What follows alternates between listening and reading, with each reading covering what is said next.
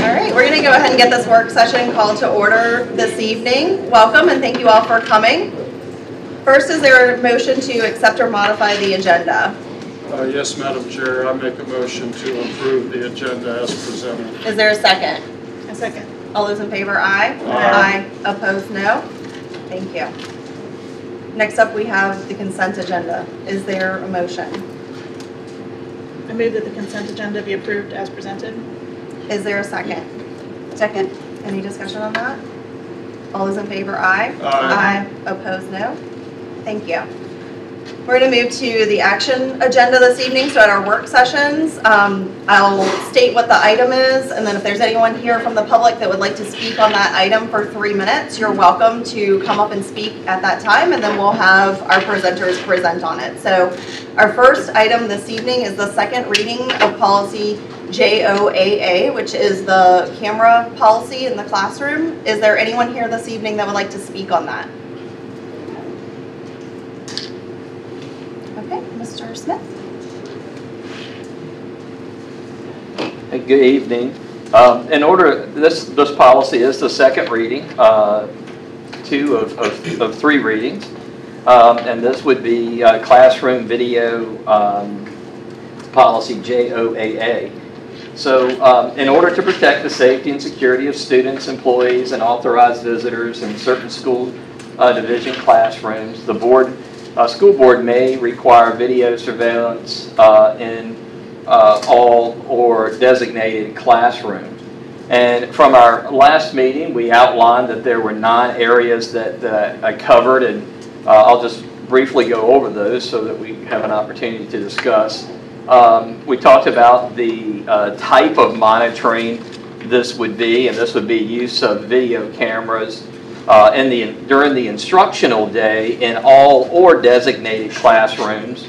Uh, The cameras would be capable of monitoring all areas of the classroom uh, and also would have the opportunity to uh, have an audio uh, as well.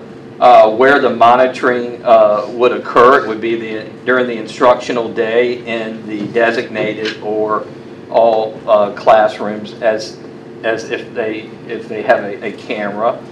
Uh, The length of the time of which the video would be stored. There are some codes that uh, could affect this, but the school division would retain the video recording from a camera for at least three months after the date the video itself was recorded.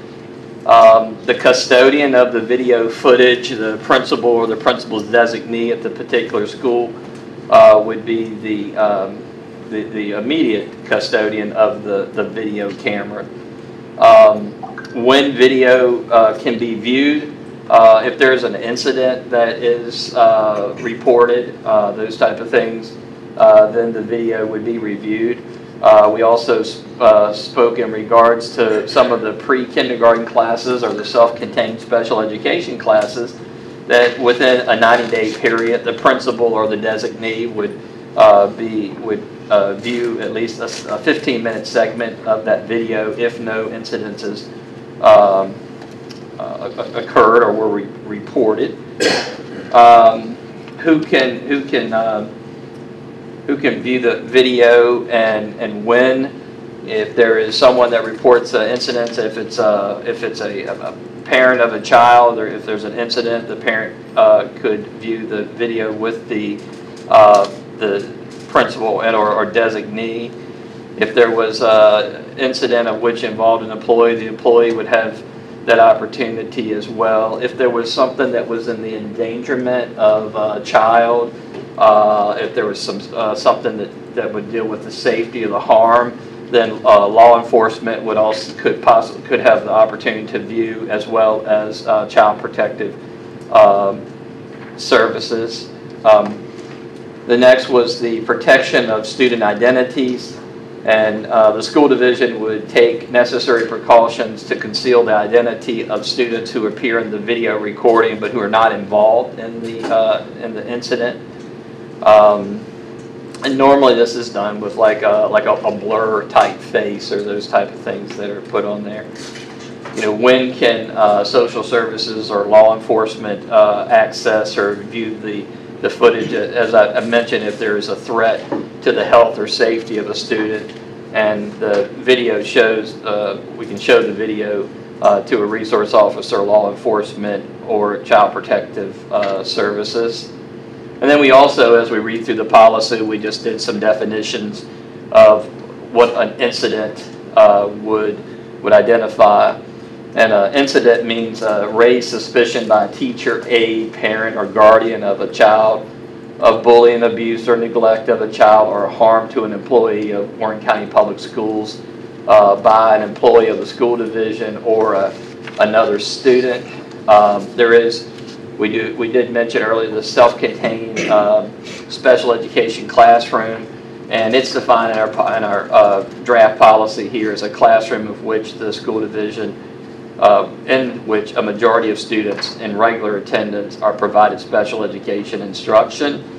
And then your classroom itself, where we identify where the cameras would be, just means any room at a school in the division in which instruction occurs on a regular or daily basis.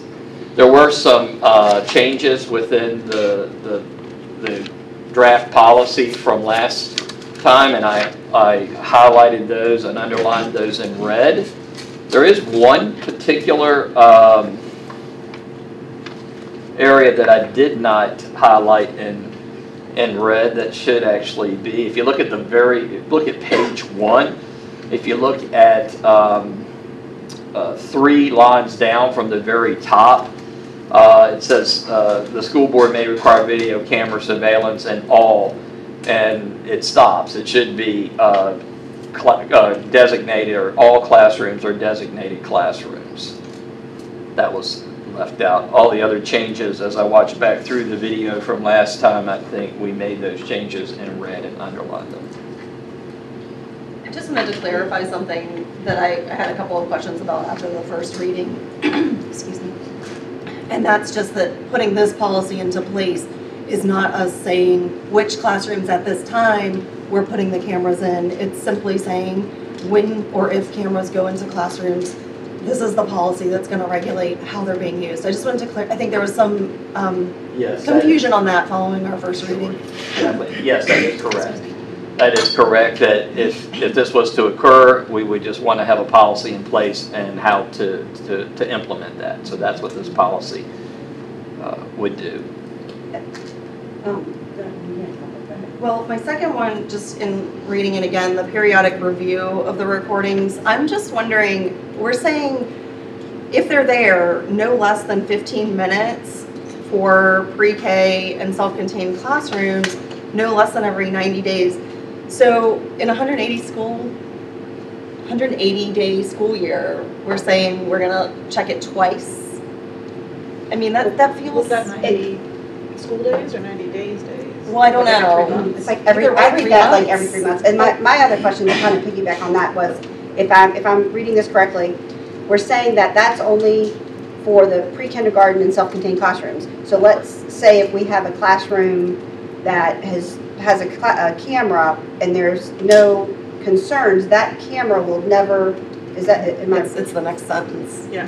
It says if there's a complaint or If there's a complaint, but if there's, so my question is, is if we have a, a classroom and there's never any incidences that whole year, and we've never checked the camera, how do we know, like, there not, there might not be a technical glitch and maybe that camera wasn't working for the last three months? Like, I don't want us to get into a situation where, um, there's a camera in a classroom and it's May, we've never had any concerns, you know, I, I want no concerns, obviously, but we, but then we have to go look at the camera and we're like, oh, wait a minute, we've never checked it. So how do, you know, to see that it's working, so how will we ensure that it's actually working and there's not been a technical glitch?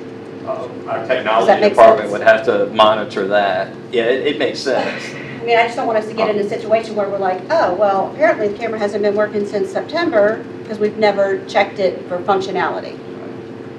You're talking about a maintenance check. Yeah, like, yeah, just for functionality, you know, because, I mean, technology is great until it's not.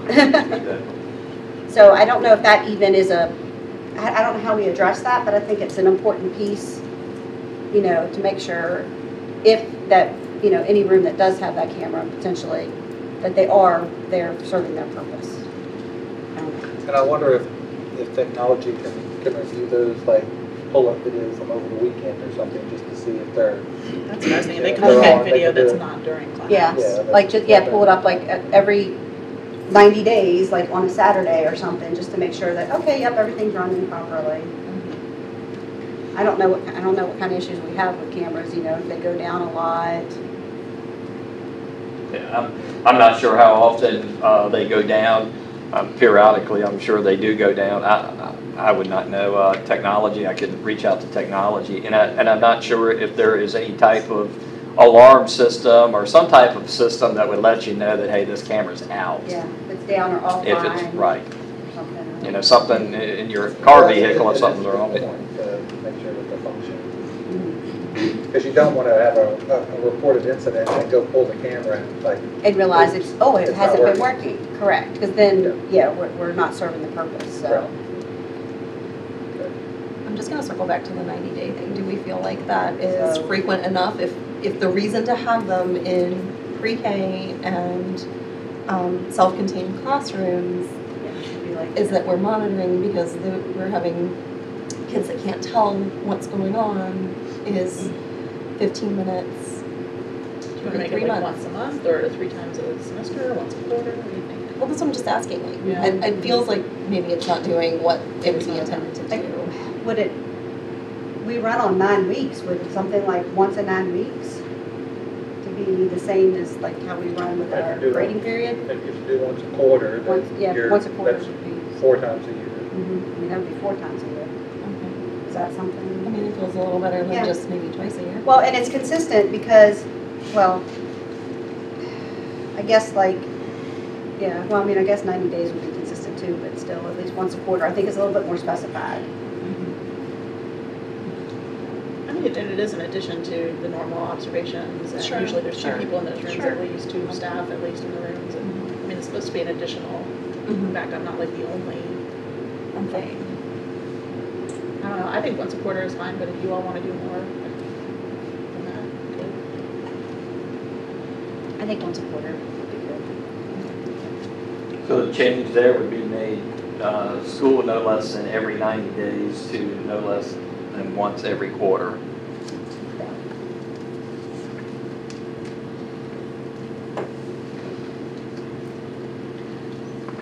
Questions or comments on this reading this evening? And then you, you'll, are you gonna follow up with technology to kind of see about what that would look like? Right, yeah, I will. We can talk about that next time. Well, like on Mark's camera, there's a little red light on there right now, so you know it's working. All right, So hopefully there'll be some kind of indication and then the classroom teacher could call and say, I don't see a- the green light or red light on my camera, you know.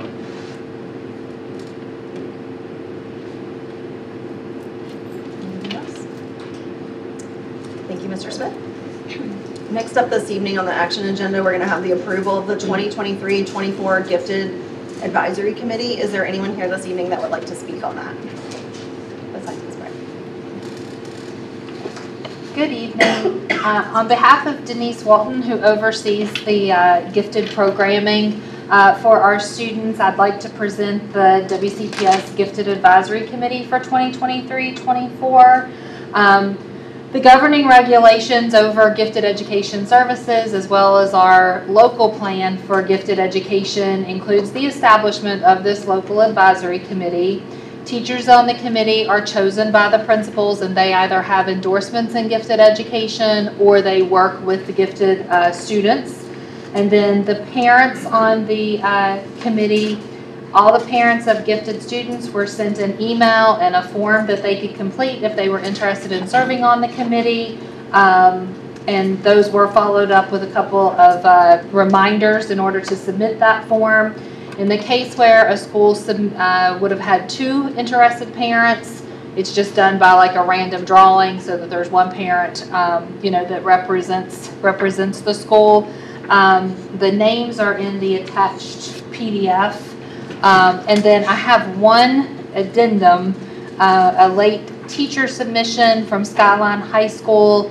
the addition of Holly Natalie, uh, who is a teacher at the school, uh, to serve as their representative to the committee. And I can work with Rob to get the PDF updated. Um, Any questions about the nominees or the process? For the three schools that don't have a parent representative, did, no parent? No parent submitted a form. Any questions for Ms. Bragg? Is there a motion? I move, I move that the school board appoint the proposed nominees to the Warren County Public Schools Gifted Advisory Committee for the 23-24 school year with the addition of Ms. Natalie from Skyline High School. Is there a second? I'll second that. Any discussion on that? All those in favor, aye? Aye. Opposed, no?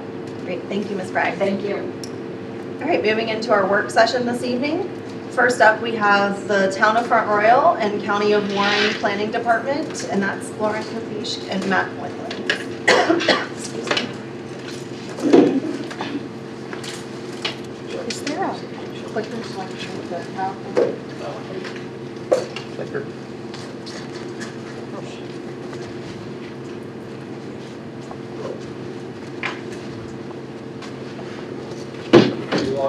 I- I'm logged in, but I think,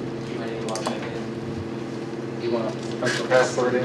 I think this is the clicker that works. And you guys are more than welcome to have a seat here if you'd like. And I'm you going to actually be going over to the computer itself though. Okay. Because I don't have a PowerPoint, I'm working directly off Okay. what I'm planning. So, and it's been downloaded. So,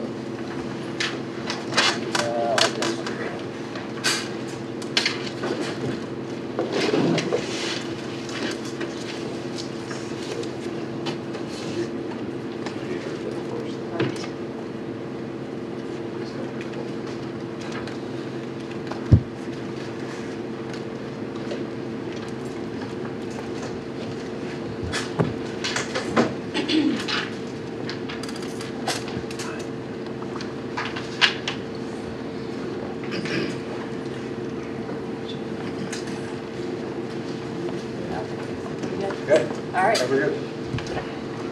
Thank you all. Thank you for letting us come tonight. I'm actually very excited about this. Um, We, the town of Front Royal started the comprehensive plan update process back in August of 2021. Um, But what I'll do is I'll kind of just take you through what a comp plan is, um, what our process was, and then just give you some information I thought may be pertinent for the school board. Um, but basically, a comprehensive plan is a guiding document for the town, for the citizens, for developers, the community. Um, it basically, it addresses topics that deal with the built environment. And for us, this was the first time in about uh, 10, 15 years that um, we had really uh, taken a look at at what this plan should be. So the state code requires that a, the comprehensive plan include a transportation plan with a map, um, a broadband plan, that was, that's relatively new in the last, uh, five, ten years it's been added, and then a chapter on affordable housing. Um, and then the rest of it is, is at our discretion. Um, and but what this does is this outlines the goals and visions for the locality, and this leads to changes in our zoning and subdivision ordinance. So one of the um, major accomplishments of this plan is, is we now have this new plan, and it bookends with the new zoning and subdivision ordinance that we're currently working on writing. Um, so, let me get to, so our last plan, it was completely adopted and rewritten, was um, done in 1996 and then adopted in 1998, so a lot's changed in 25 years. We've had major technological advances. Um, And so while the town has, has provided some updates, especially back in 2008 when um, the Marshall Planning Area was annexed in, we had not overhauled the entire document in about 25 years. Um, So for us, a lot of years. and state code requires basically that we look at it every five years, but it doesn't give us any guidance as to when do you completely rewrite it. So our planning commission and previous directors have all looked at it. It's just been a long time since we had an overhaul.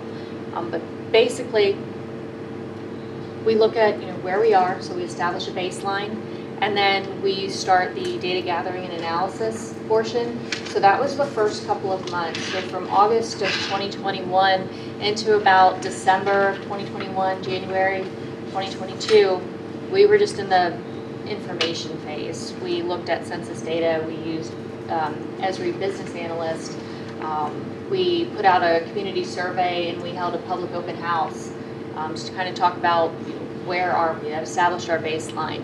Um, we continued with the public outreach. We did not have a citizen advisory committee per se, but what we did was we used our FREDA board, the planning commission, town council, board of architectural review. We used those boards and appointed officials as our advisory committees. Um, and then we, we developed the plan.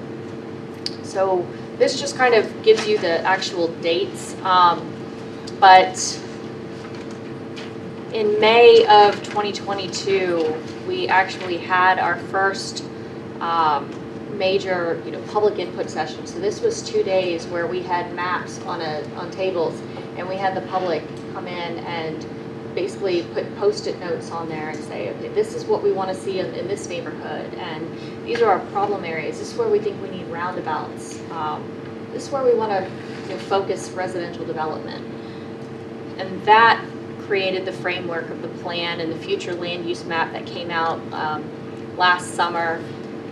And then in October of actually 2022 to December 22, that's when we had an additional final public open house.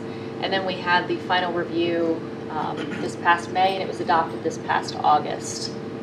And so what we've started now is we have started the subdivision and zoning ordinance rewrite. And that, I'm hoping to have a draft by December, January and then hopefully get that adopted early next year. The way our plan is organized is we have a vision. That sets the, that is the goal, that is what Front Royal wants to be in the next 20 to 30 years. From that vision, we pulled out the big ideas. So for us, there were four ideas that jumped out. So preserve our history, create more of the charm that we love.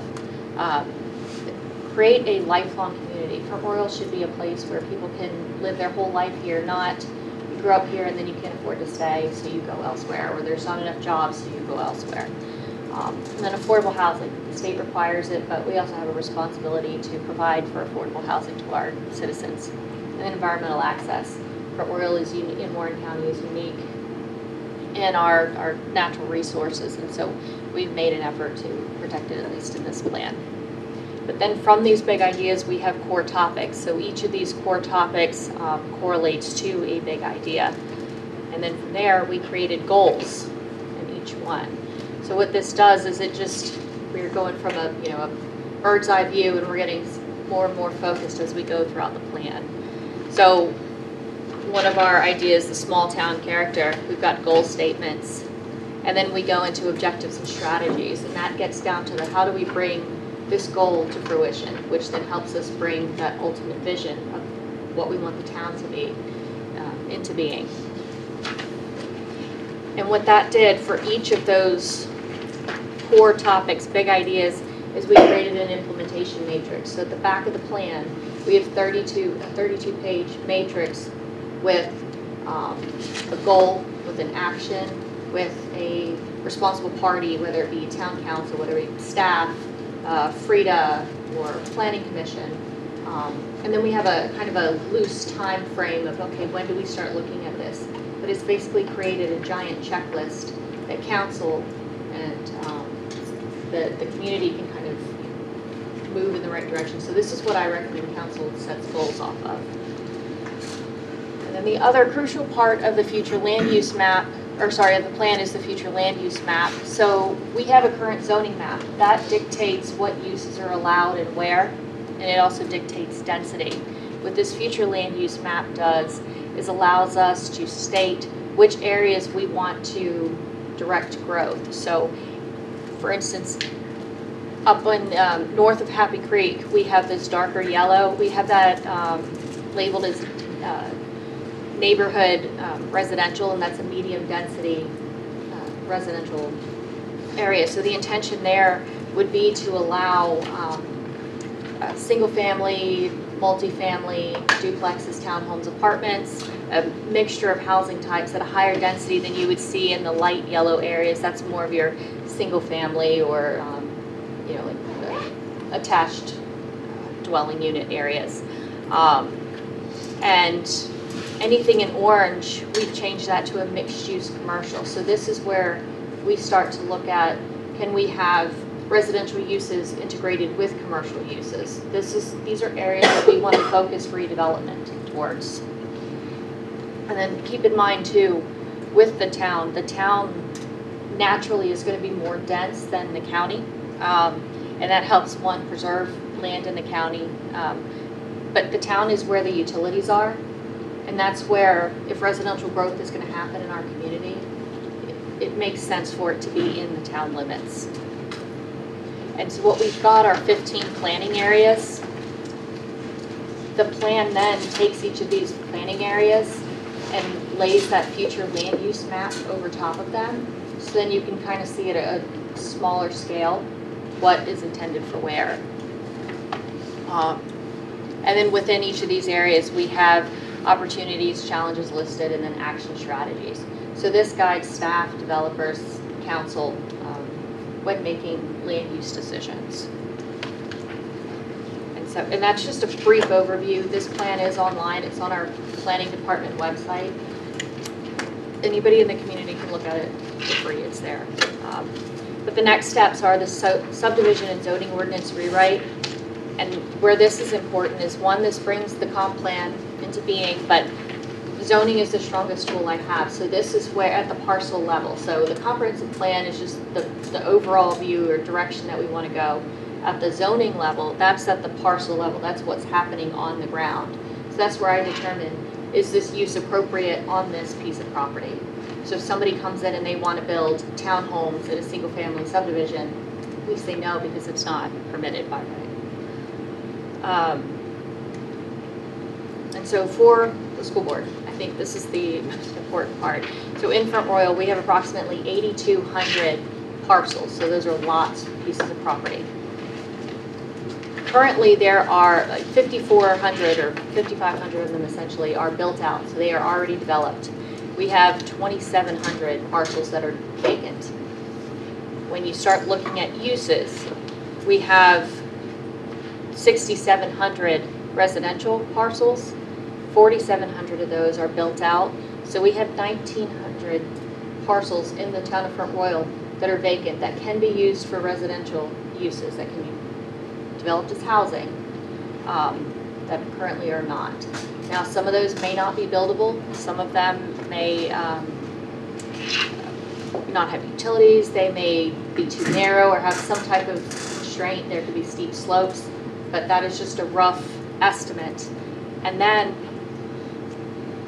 um, in twenty, what is it, two thousand eight, that Marshall planning area in the northeast areas, those were annexed into the town.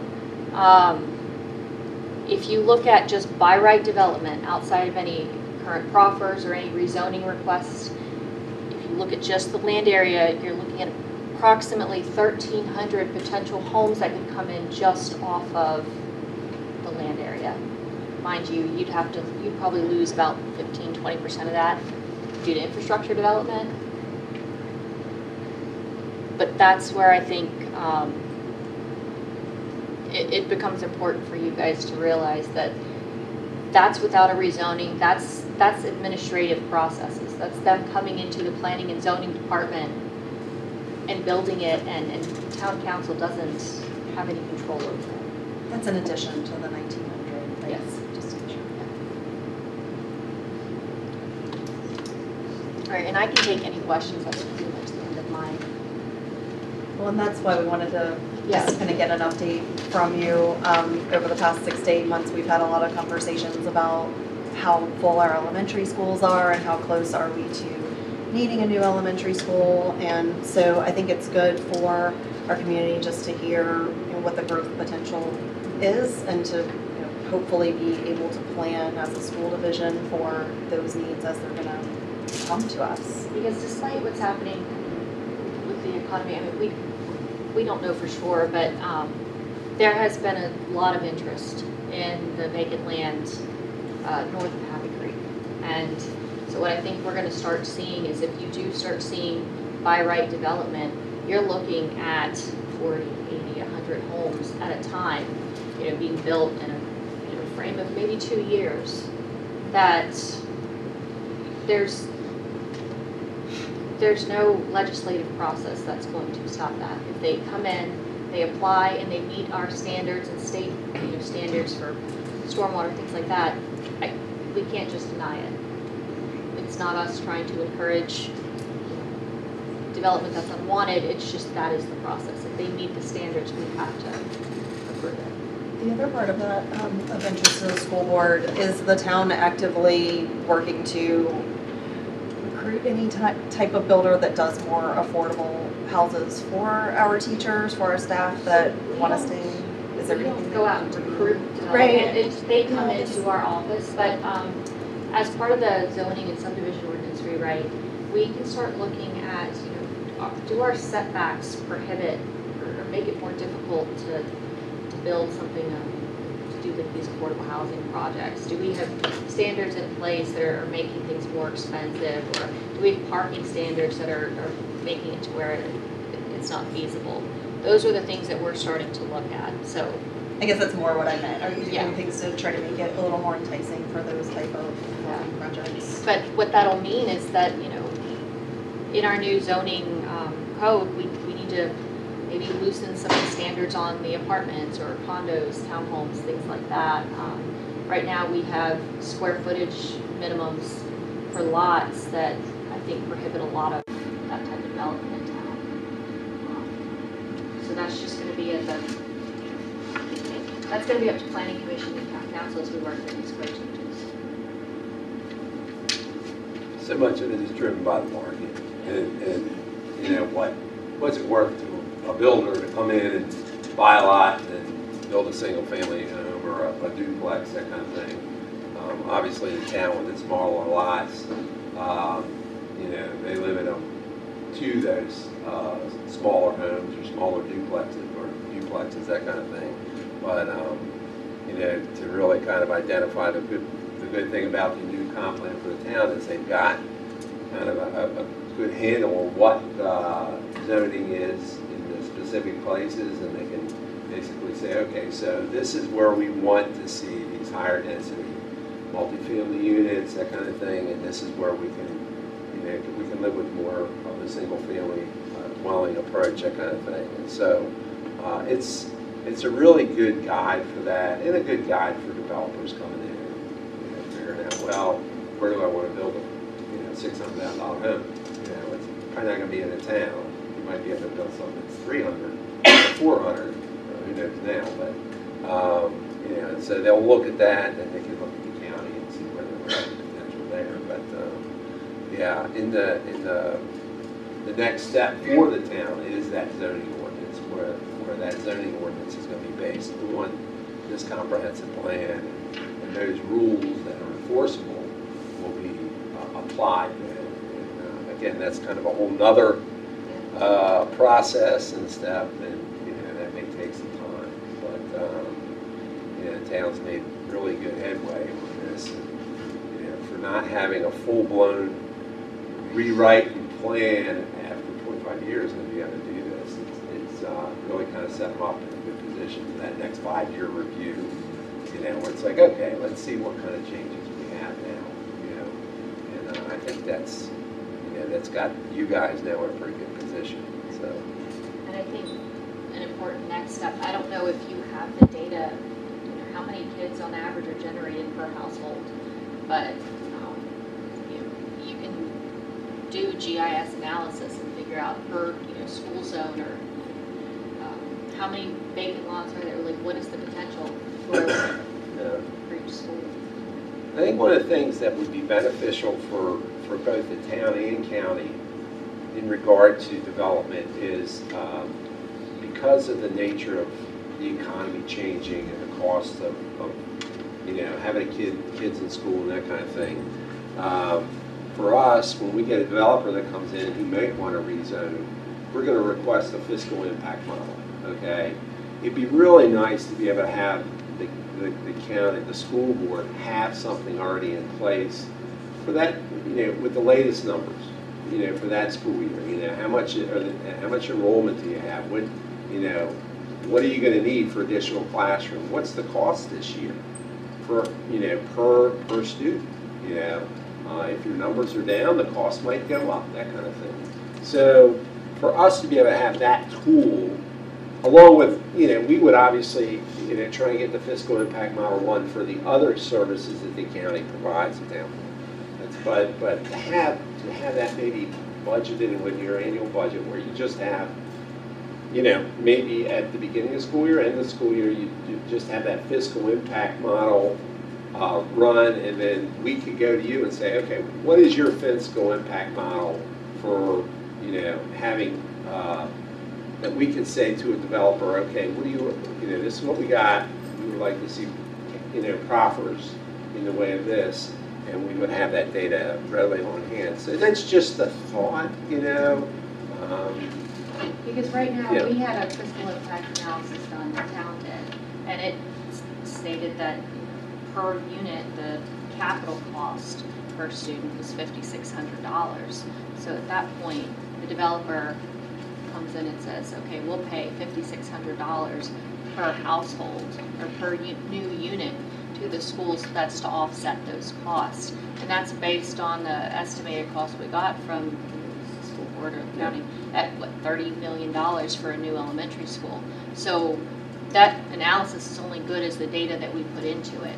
So if that's not an accurate number, then that cost or that proffer amount is not be what you need. Yeah, and the other thing is, is, is if the amount of homes that they're bringing in is not gonna require, okay, this doesn't put us over to the point where now we have to look at doing a new school, but we may have to put an additional, we may have to, you know, add mobile classroom, whatever y'all would do. You know, you would look at that cost and you could say, well, this is actually what it's gonna cost us now per student with the additional amount of students that you potentially could bring in. And um, so it's, it's kind of almost like that data and those numbers are yours. We can only take it and then apply it to, you know, these projects and these planning projects. So it's helpful, you know, to you, for you and the school board and, and uh, the number crunchers to be able to, uh, you know, have some kind of an annual fiscal analysis done. Um, Just to have it readily available. So when we have these developers come in and say, well, we want to build a 156 square, uh, home development or whatever, and we can say, well, this is, this is what it's going to cost you for schools. You know, we'll run the fiscal analysis for the, for the other services in have. So, And the uh, majority of our vacant land is in that northeast portion of the town. So that is Happy Creek, Shenandoah Shores, uh, Leach Run Parkway, that area. Yeah. And I'll talk a little bit about that in my presentation. I kind of wanted to just kind of tie you into that. So uh, how about if I step over you? Pretty much. Got any, any more questions? Yeah, I I do. Yeah. Can you, def- I know a few years ago, the regulations on proffers were changed. Can can you bring us up to speed on that? Well, let's put voluntary proffers in front of that, because they are voluntary, okay? Um, yeah, Basically, from what I, what I know is that for commercial and industrial development, um, we can request proffers, especially proffers that are applied directly to the impact of the development. Now, uh, if you have a warehouse or a distribution center going in, we're not going to be able to ask them for proffers for the schools because that's not a direct uh, impact, okay? Um, But if you have a planned residential development, it's kind of a whole nother story, okay? Especially, and and proffers can only done, be done during rezonings, okay? Um, So uh, I think that the state rules were that we had to just be very careful about asking for proffers uh, for planned residential Yeah, developments, so- and you can help me out a little Yeah, bit with so that. in, I think it was 2016 is when we had the first major legislation change. Um, And then there was another change in 2018, I believe. Um, But essentially, it stated that there has to be rough proportionality and there has to be an essential nexus, meaning that the impact, the proffers are there to offset the direct impact of the development, and it can't be, it can't exceed the actual impact of the development itself. So that's the, you know, if somebody comes in and they want to build a hundred homes, um, and by right development would have been forty, you're looking at the impact over and above what you had a responsibility to initially provide for. So if you have to provide for your schooling or accommodations for forty homes worth of students, but now there's an additional sixty units that you need to figure out how you do this, that's what we can ask for, proffers for to offset the cost of. But it's rough proportionality and the essential nexus.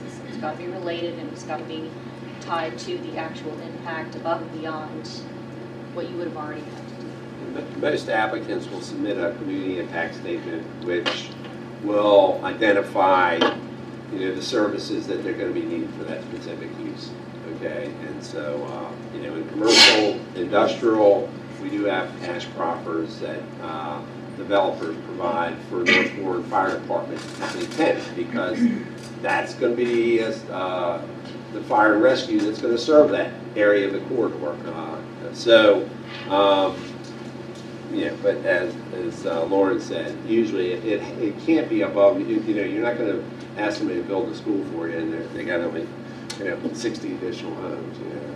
so. But it's good to have the numbers there, so when Lauren's meeting, or I'm meeting with someone, and they're looking at doing something like this, um, we can tell them, this is what you can expect, this is what, you know, it takes to have, you know, a student, you know, put a student through school in Warren County, you know.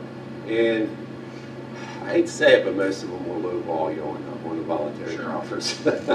So I'm not saying kind of up them, but definitely make sure that you have a, a fair, you know, cost on that per student cost, you. That's what That's becomes a happens tricky dance too. Yeah. Because we can't ask them to up that amount, and Yeah. especially us in the town, because we do not oversee the schools.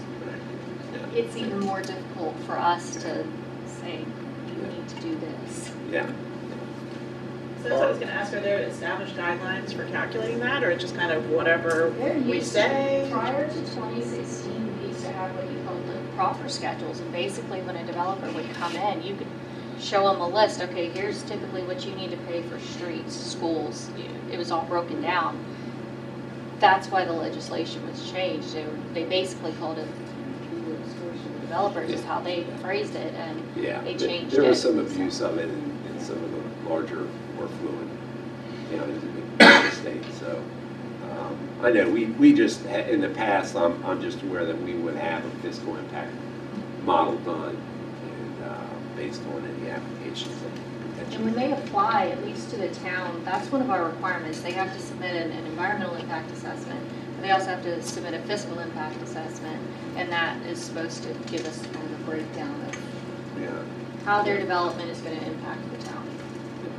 And then when we get something, it gets routed to the county, and then the county does a review yeah, as we well. got fire and rescue, we've got parks and rec, those kind of things, so there might be pieces that, you know, planned residential development may impact and say, look, well, we can, we can contribute some of this to this, you know, that kind of thing. So, um, yeah, it's just, uh, it's a a delicate cakewalk, so to speak, with, uh, with these, but, um, it's really important because when you do have development come in, they are gonna impact. The challenge that the county has is we have an ordinance for, that allows for, um, uh, age-restricted 55 and above active adult communities. And active adult communities don't technically have children coming into the school system. You know, they may have grandchildren, they come and stay or whatever, but technically don't. So it's, it's a bit of a challenge for us because we can't really ask for any money from the school system, I mean, if it's a, and it's a by right use. know. So, um, you know, they, the public services that serve communities like that are more your emergency, uh, uh, fire and rescue and emergency services. So those are kind of things we might get, uh, some progress for, um, in parts of it, I guess.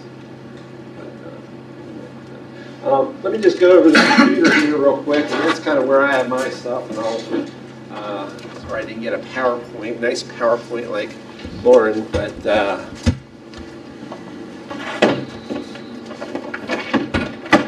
I'll, uh, I'll start just really with, um, with this, uh, I brought this with me, this is the Happy Creek Road Charrette Final Report, done January 27, 2005, just before I started with the county. And uh, it actually uh, talks about the area that Lauren was pointing out in her uh, uh, comp plan in the Happy Creek corridor, uh, where they did kind of a lot of uh, citizen input, very much like they did with the comp plan, and addressed uh, issues there, transportation issues, future development issues, what the zoning issues were, and I marked a couple places here in this. And it just so happens that they have a draft master plan, and they actually show uh, an area that a school could be provided uh, in that in that plan if it was to be uh, built out. Um, another uh, one of the public facilities and services it says foster long-term development of two school sites and one major active park within the planning area in general accord with concept plan, local standards for such public facilities. Land for such public sites is expected to be proffered by rezoning applicants to assist in mitigating the impacts of the, of the projects.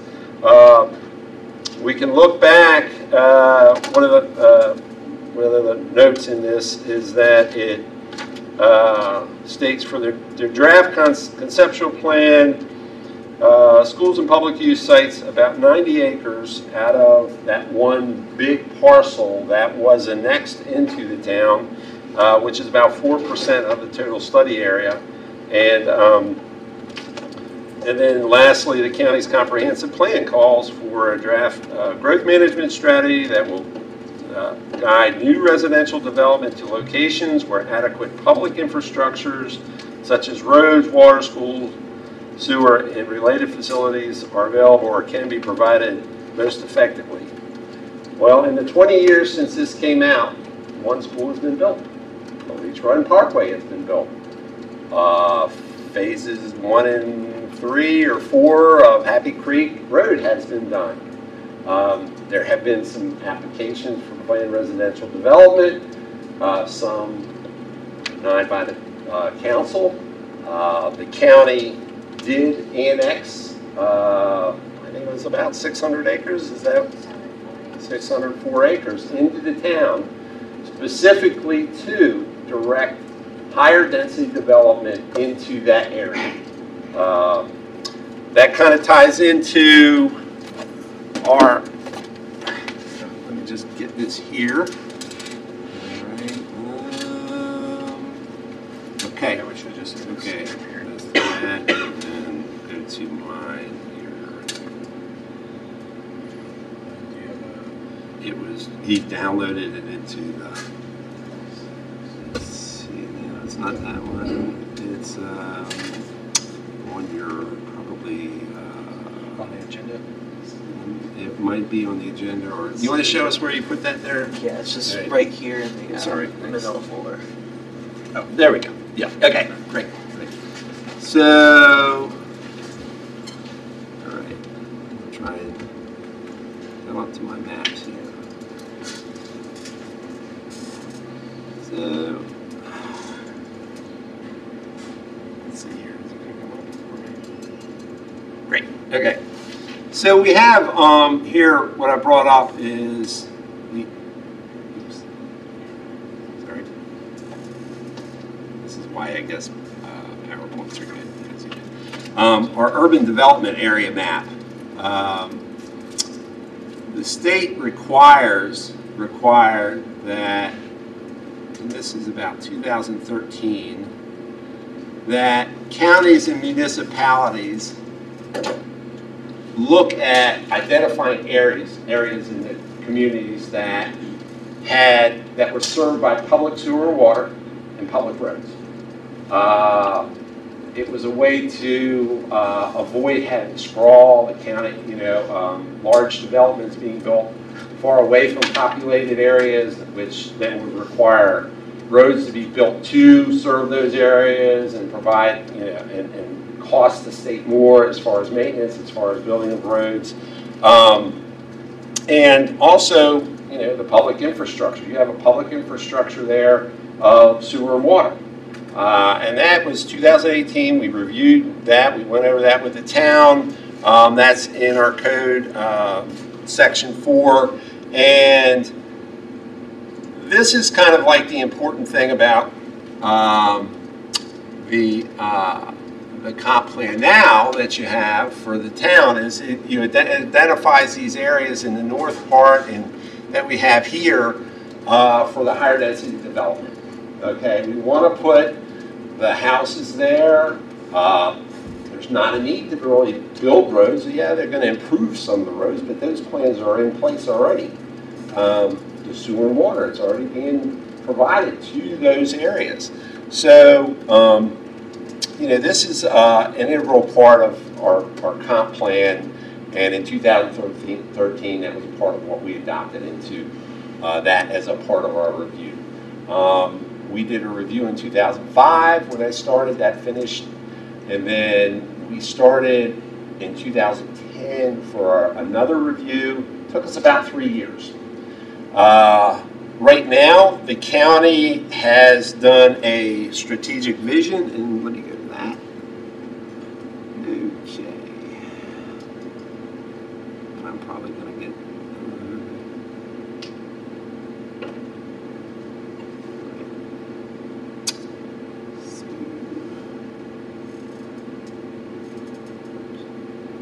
I don't do pads, these pads very well, so just bear with me.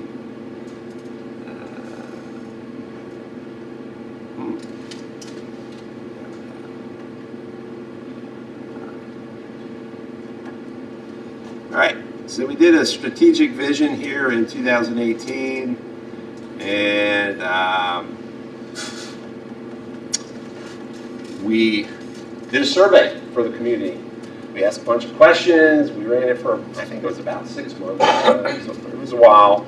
Gave people adequate time to kind of put their input, and um, brought that with me. Oops, This one here. And I just wanted to point out a couple of uh, areas in, uh, in the, in the strategies area, uh, we identified an area for uh, education. And some of the priority levels that we had, some of the questions that we had, was increased teacher pay and benefits, the levels needed to retain the best teachers in the northern Shenandoah Valley and attract teachers from adjacent counties. Uh, Another high one was use retention bonus, beginning at a year four to retain the best teachers. Uh, Medium uh, priority level was defray school expansion costs through proffers. It's something that we can do through the planning process. And then um, another moderate was coordinate expansion and improvement of school facilities with new private development proposals. Okay. Um, we also had some other questions that we, we uh, put out there, and again, this was, uh, this was a number of questions relating to the community, but relating to the school system and education was, um, some of the questions were coordinated expansion and improvement of school facilities with new private development proposals, and defray those costs uh, through proffers.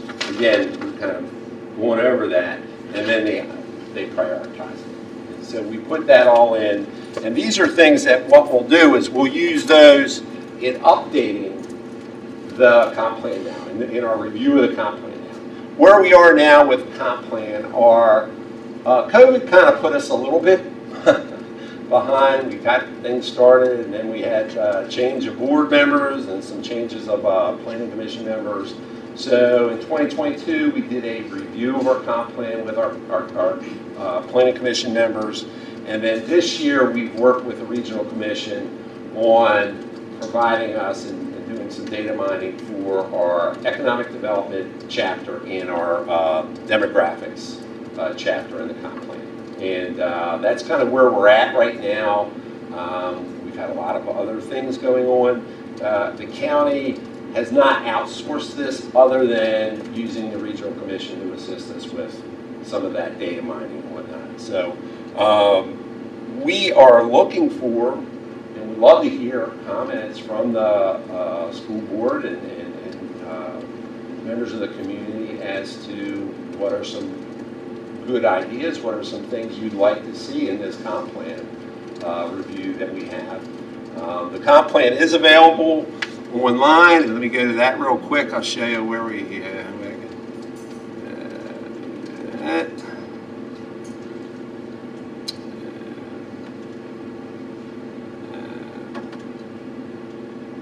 Hope this opens up.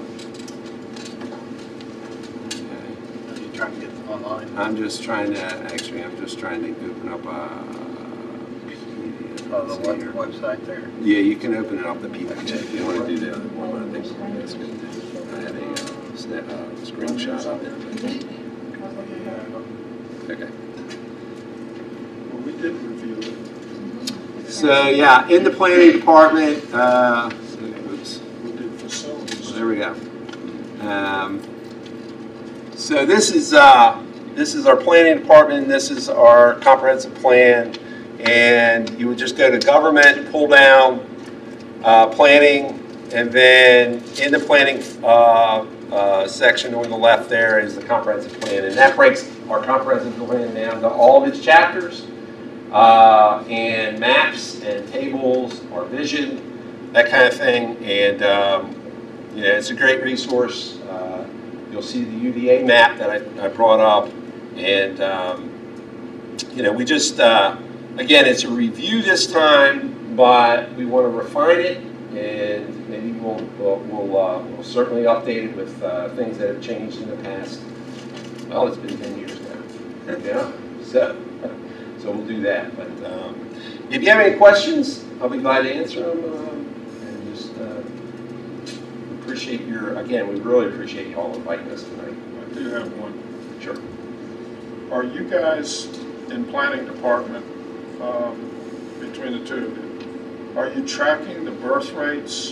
Because a child born today is going to start kindergarten in a few years. And uh, and I know that building is different because um, a subdivision could be built out in two years and have 50 kids going to school. But the birth rate is a pretty reliable statistic, what we can see for four, five, and six years from now. Are y'all tracking that? Weldon Cooper is a really good resource for uh, population birth, uh, population uh, data. So we do utilize them. Uh, We we use the decennial uh, census data from 2020. We- we- Using some of that data as far as that mining. There's a a number of uh, state resources that we can utilize for some of our uh, economic development data. But uh, I would say probably the census is one of your primary ones. um, We don't have a mechanism And to you, track that. yeah, I mean, in- internally, no, we don't. But um, we use outside resources. Yeah, that's the challenge that we, we have when you have a small staff, you know, and you're doing a million other things. Yeah, but uh, the regional commission has been very helpful in that regard in doing some of that data mining for us and providing us with that. And we've actually come to the school board uh, at times for enrollment numbers, annual enrollment numbers, which we include uh, in our information. Um, We had for a while there been doing a community uh, profile uh, form that we, we provide to businesses and people coming into the county. Um, I don't know if, it's been a little while since we stopped doing that. Um, I don't know if that's something we're gonna resume, but I know we had some school numbers in that uh, community profile. Uh, So we might wanna look at doing that, you know, and then on an annual basis, then you can kind of see those numbers and how they change. So, again, thank you very much. Appreciate y'all uh, having us this evening. Oliver, is there a tract that's um, identifying for the next elementary school? Is there a tract of land that's identifying for the next Um, elementary school? I don't, Do you know? I don't think there is a tract of land that is identified. That, The, the Rana property or FL, uh, for what a is- limited limited partnership, partnership, in that Crawford, I think they they set aside land Yeah. for school. yeah. Um, and that's part of that six hundred and four acres that was annexed in. And I know he's got another, what, three hundred acre tract? Yeah. No. he's got a ton of land, and, and, and that's kind of where that charrette ties into, is we look at that conceptual plan that they had in the charrette, and we kind of apply it to that area. And that, that conceptual plan called for the two, two schools. So we have the one now, and there's potential in that area. Um, in the north area of the county, that Rockland area, it's just, density is not high enough. We Just, we want to focus things, if you would want to do it, would be the periphery or within, uh, the town I would say. Cost of transportation, that kind of thing. Uh, Remember, I'll just mention this, I didn't show you the, uh, our zoning map, but sixty percent of the county is still in agriculturally zoned property. Okay, so, uh, we have limited amount of subdivision rights now as we kind of move further away from our, And you need to Yeah. keep that to maintain the agricultural nature of the county. Right, What right. you're gonna start seeing is more sprawl creeping into the rural areas that will be rural anymore. Yeah, one of the ways that we, we are looking at trying to help people in the community, because the challenge that we have right now is the development of, of some of these town properties just not getting done, is uh, county, uh, we do have an ordinance going through that will allow two additional family subdivisions of land uh, from a parent parcel as it existed in 1977. So this would allow families to have, uh, give land to their kids or, you know, uh, the parents say, okay, uh, you can have a house and I'll, I'll build me a nice little one-level home there and, and allow them. So we'll see some, you know, some of that happen and the development will be spread across the county instead of intensified like you would have in the county. So it's just one tool. All right, well, thank you very much. We appreciate it. Thank you. Next up this evening, we have um, discussions with representatives from the Phoenix Project. If you guys would like to come up. Thank you.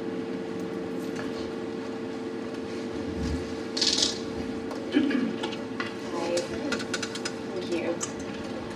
My name is Kristen Gregg. I'm the child advocate at Phoenix Project. I'm, I work with kids who have either experienced directly or have witnessed domestic violence.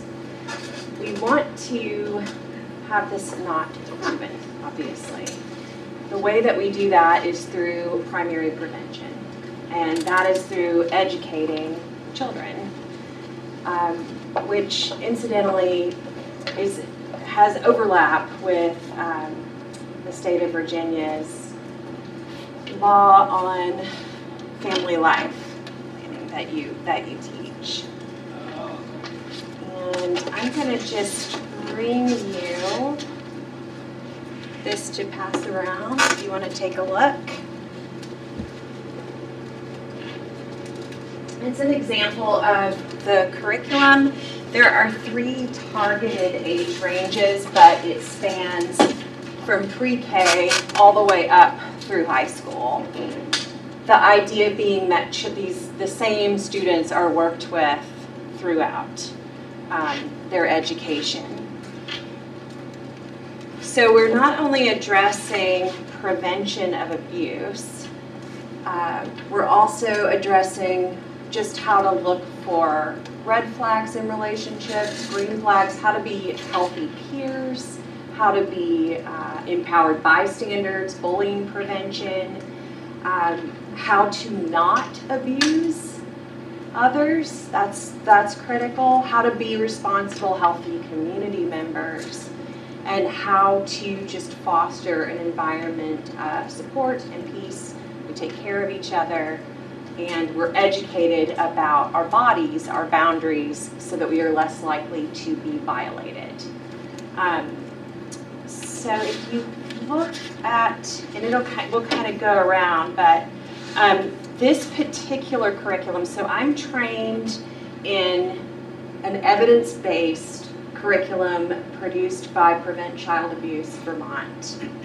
Um, and this curriculum is also being studied by the CDC, so it's, it's pretty hefty and has caught the attention at, at a national level. Uh, there is a map in there showing all of the areas of the United States that are currently using this program. This program is very well researched, studied. Um, there are, bring this over. Don't feel like you need to look, this is a lot, but just I want you to have it so you can kind of see the results of studies that have been done there. Um, so this isn't this isn't a new thing. This is very well researched. It does address Virginia's um, child sexual abuse component of the family life law, but actually in reading the law, um, it gets at much, much more of it, not just uh, the prevention of sexual abuse. It would start with um, younger kids, pre-K. That program is called Care for Kids. And you can kind of get an idea of the curriculum. Would anybody like to see an example of the curriculum? Just to kind is there a of flip. for us to have copies of it for after the work session? Well, I can leave Or like you. these folders that Yes, those are you. You have those. Um, these are, right now I have one. Yeah. We're hoping to change that, right? We want every school to have these programs. I'm prepared to come in and serve whatever needs that you have. If you want us to come in once, twice, I can do that. My recommendation is that the full program be followed because it's most effective if we do it that way. Um, and I can do this myself. That limits, you know, how many schools one person can get to, or, and, some combo. Um, I can, I'm trained to train other people, other adults, teachers who are already in the schools, how to incorporate this curriculum into maybe a class that they're already teaching. Um, so there's that as well that I would really like to see that happen and to see my role be more of um, kind of overseeing all of that and a support role. Support groups, getting together to check in. How is this going in your classroom? What are your challenges? What, what do you need from us? How can we help you? Um, and just ongoing education as laws change, and they do, um, we can adapt. We can adapt it. By no means do we have to cover every part of everything. We have to be realistic and um, serve the community that we're in effectively so we can adapt the program to suit the needs of the most people. Um, yeah, so that's the first one is Care for Kids, and then it goes into the elementary age with We Care Elementary, and then middle school age with this Safety, which I can do. Does anybody just want to pass quickly, take a flip through? Um, and then there's another one for high school as well. Get an idea. I think we're missing the elementary. Um, but you can kind of get an idea of what, what the curriculum covers. And I mean, really covers every element of this family life education um, that is required. I've also included the CDC study that has begun on the program. They are, I believe they have two more years left. It's going to be a four-year study by the end of it, so pretty thorough. Um, already positive reception of this program. And then toward the back, you're going to see um, how the program, you know, here's the data. Here's how the students are receiving the program. Here's how the parents are receiving the program, the teachers, what they have, their feedback about the program as they're delivering it. And I think this is also part of that family life law.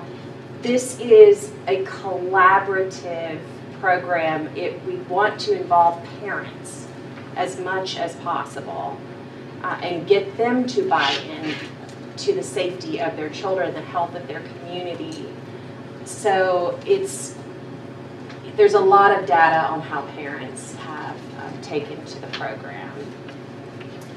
And I kind of just consider this as, you know, step one, here's the, the presentation. Um, I can provide as much information as you need going forward. Um, and really just maybe a good time to pause here and ask what, how you see your needs. What are your needs? Who are you currently working with, with this curriculum? People that come to you individually or that are referred to you? So I certainly can. This is a new program for us. Even for you? Yes. Um, so I would, I can do it individually. It's of course You're not much more currently in school, effective. though. I'm sorry. You're not currently in school. No, I'm not. That's why- that, that, Right. you're- You work with people that come to you though. Currently. That's what we want to I just wanted change. that- And to keep doing that work, it's incredibly important work, but it's, you know, we're, we're kind of addressing the problem after the problem has happened. We want to get in there and prevent it from happening at all. Um, And just beyond trouble prevention, actually building positive self-concept, positive body image, positive relation, positive relationships, being responsible in your community. So, so what teachers would be involved in teaching this curriculum? I know your health and PE people are different programs, uh, like I taught family life uh, in, in in Fauquier County, and we did Too Good for Bullying, Too Good for Drugs with the Mendez Corporation, and students had a workbook, and we could track what, what they were doing. Um, Is this something similar, or which teachers would be involved? Is there a social studies teacher that's going to hit some of this curriculum, and how is that I think that's. even shared in the building? Think that's up to the board. I mean, my recommendation would be probably a health class because I think this speaks to health. It is physical health, social emotional health, uh, peer-to-peer relationship health. Um, But that's, that's something that is flexible, Okay. So I saw that, um, like, for example, for Care for Kids, it's like pre-K to second grade. Is the idea that they would have, and it's six lessons, it said, is the idea they would have those same six lessons every year, pre-K through second grade, or like once in that range, and then they would get the other one once in that three five range? Correct, yes, so we wouldn't be repeating the same lessons uh, that they had in kindergarten and first grade. So they would have it maybe in kindergarten and third grade And then you-. Yes, and you're, you're just, you're kind of adding on, solidifying what you've already built as um, their ages change and different things become age appropriate that were not age appropriate before, but then they've got that foundation there to just build on. Have you had any conversations with our counselors at this point that are? I have not. I can speak to, in the past, we've worked very closely with the school systems. We have come in and did a safe, safe dates program. Um, that was during gym class and, um, that worked really well. We also have in the past went into the schools and worked with individual students who, um, either their parents have indicated that that would be helpful. Um, and so we are able to go to them and work with them. So this is just another step in that. There was with, of course, COVID kind of put a halt to everything. And so since then, we have been researching and coming up with programs that would be the most beneficial. Um, and this is, this is one that we, we've studied and are trained for, and that can be implemented with other adults too. So, which is why this one speaks to, to reaching the most students in the quickest route for them. And at no cost. Right. To the, at no cost to the, to the school Yeah. system. Um, in different counties across, you know, it's been a while, um, since I was in school systems, but I, I used to contract with an agency that taught a specific piece of family life in Warren, Clarke, and Frederick. And so they contracted and the school board actually paid them to come in and do programs much like this. And, and this is at no cost to the school board or the schools in general. And so I, I think with what we are seeing, the rising incidence of domestic violence and sexual assault and bullying, there has got to be a point in which we stop just covering the wound and really start to get underneath of changing those social norms.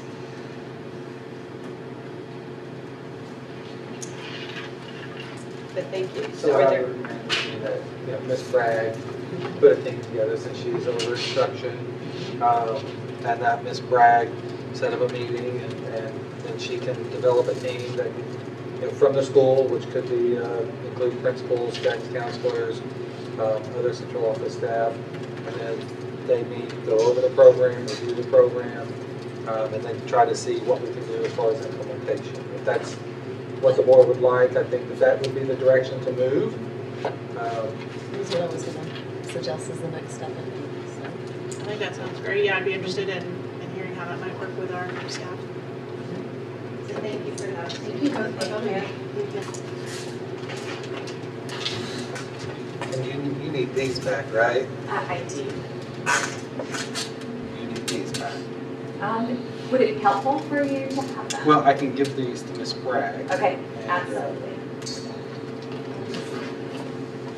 Spirals then, and Ms. And Ms. Bragg Bragg is right back here. Hello.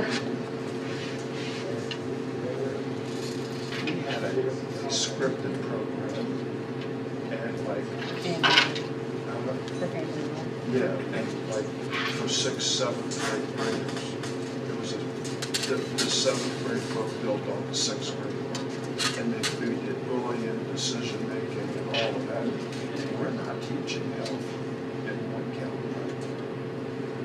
It's done, it's done online. Teachers are teaching health. Next up, we have a discussion with the Warren County Department of Social Services. No, I agree, we can just have that conversation back. I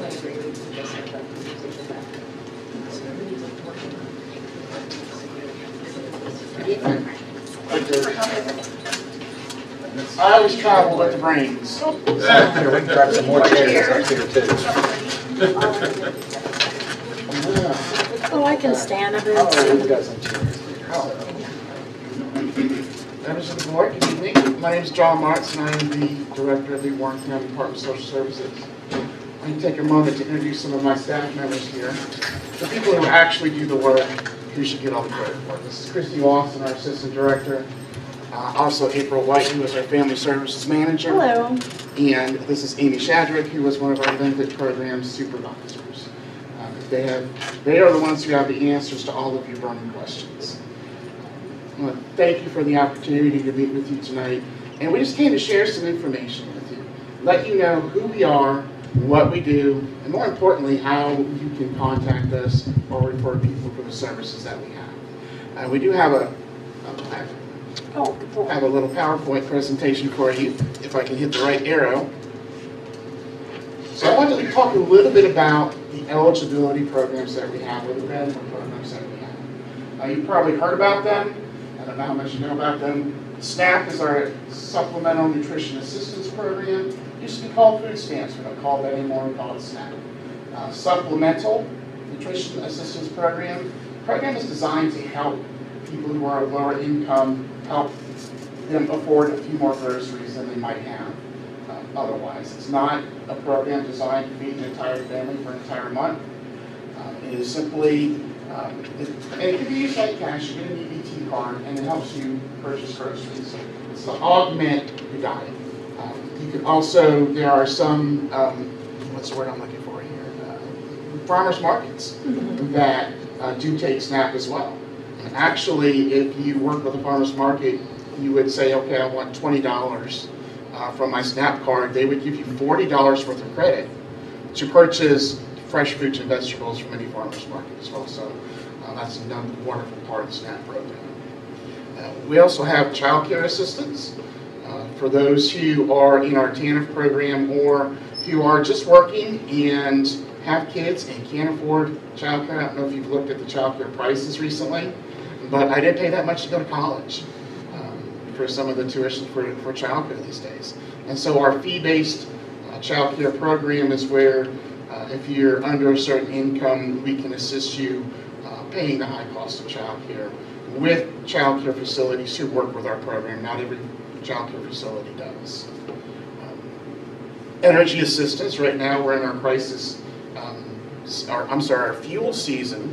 Uh, Low-income households can help get, help pay the, the light bill.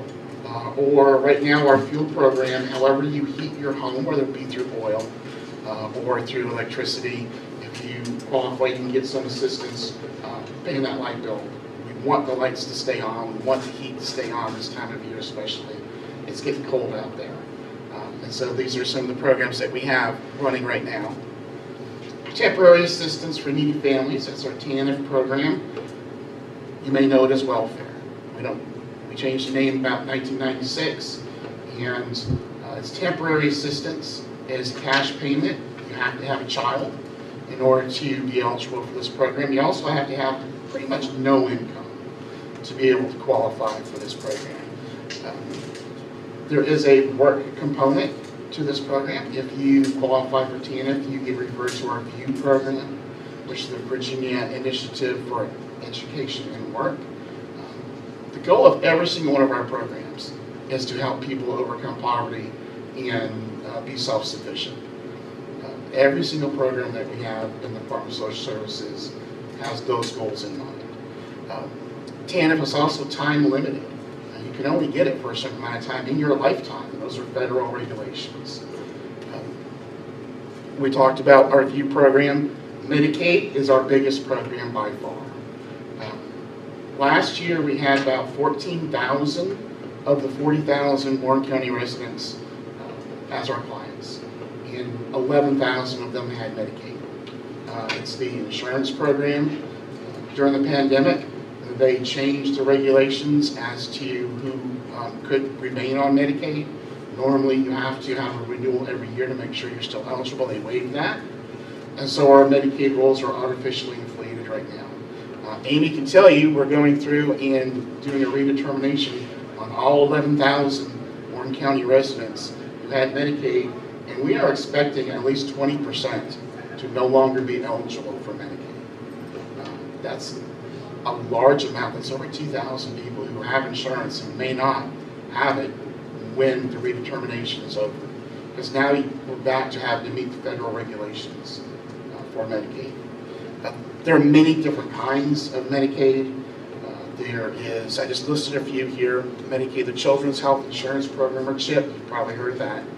Um, There's special Medicaid for pregnant women, our age, blind, and disabled Medicaid, our basic families and children Medicaid, our long-term care. Amy does a lot of work with our age, blind, and disabled long-term care uh, Medicaid recipients. So how do you apply for these benefits? Uh, We always tell people, I can't tell you if you're going to be eligible without an application. So please, put in an application. Make us do our job. We're not going to answer hypothetical, well, I earn this much, what am I going to be eligible for? I can't tell you because these programs are 15,000 pages worth of regulations that we have to go through. I can't tell you without an application, so please apply. It's easy to apply. You can apply online through Common Help. It's um, commonhelp.virginia.gov. Uh, And there's actually part of the Common Help program, you can put in your information and it can tell you what programs you may be eligible for. You can call the numbers here, uh, 855-635-4370, and apply right over the phone. They'll take your information, and they'll send us your application. Uh, You can apply for Medicaid over the phone. You can come to our office and say, I'd like a paper application. We'd be happy to sit down with anybody and help them fill out an application. You can call our office, and say, mail me an application. You'd be happy to do that as well. We even tell us that I'd like an application, but I can't get to your office, I'll bring it to you. We'll sit down with you, we'll help you fill out the application. Uh, You can also print a copy of the application at the DSS website, uh, dss.virginia.gov. So many different ways to apply. Um, It's pretty simple to apply. The applications can look daunting sometimes. Uh, A few years ago, we went paperless and our Medicaid renewals went from five pages to 20. Uh, So we love our paperwork, but honestly, for, all I need for an application is a signature on it. We can help you fill out the rest of the information. One thing I can't do is write your signature. Um, But it's easy to apply. And then we have 30 days, up to 30 days to process any SNAP or TANF application, unless you're expedited, which is seven days, and 45 days for Medicaid. Because sometimes we need, do need to get some verifications uh, with those. That's how long we have to process them. It doesn't mean that's how long it should take to process them. Um, Our goal is as soon as we have the information we need to process the application, it should be processed. Um, Get it off your desk. We talk a lot about numbers in our business, but as our people here can tell you, when I talk about numbers, what am I really talking about? People. I'm Talking about people. If we're processing Medicaid or SNAP applications at eighty percent timely, that means one out of every five families didn't get dinner last night, or aren't gonna be able to fill their prescription at the pharmacy. So, just because we have a certain amount of time to process, doesn't mean that's how long it should take. Our goal is to process everything quickly and accurately, to get the people who really need the help, help in an expedited manner. Here's some more information on Common Help. Um, There's a link on the PowerPoint, I did send it to Dr. Ballenger, I'm sure you can send it out to everybody. Um, Please share that information, share that link with everybody. Um, All you have to do is click on it, it'll ask you the questions that you need to answer, it'll guide you through uh, the system. It's gonna take a minute, because government websites take forever to fill things out, right? Um, But please don't hesitate to apply. Tell everybody, apply for these services. If this is something that you need, it's something that you may be eligible for, go ahead and put the application in. All it does is take a little bit of time. But that's not all we do. Uh, we have a whole nother side of our building, which we call the services, and that's where uh, Ms. White and people um, fit in. You probably know us best for Child Protective Services. Um, If we have a child who has been alleged to have been abused or neglected, we get a phone call. And um, assessing and investigating alleged child abuse and neglect, that's what our CPS folks are there for. Uh, Providing families with support and education. I could go in depth, um, probably, hopefully correctly, she would correct me if I'm wrong, about what the process really looks like, but suffice it to say, there are two different ways. If we get a report that meets the state criteria of abuse and neglect, and that's important to know, it has to meet certain criteria, and those criteria are what, April? I'm sure Dr. Ballenger, who was listening with bated breath at my last one, um, there's four criteria for validity. One, has to be a kid, has to be under 18 at the time of the report. Now, that doesn't mean if you're over 18 then we're not going to take it and give it to somebody who can do something about it, but for us to do a response, you have to be under 18. The abuse or neglect has to occur in Warren County, or they have to live in Warren County. We have to have jurisdiction.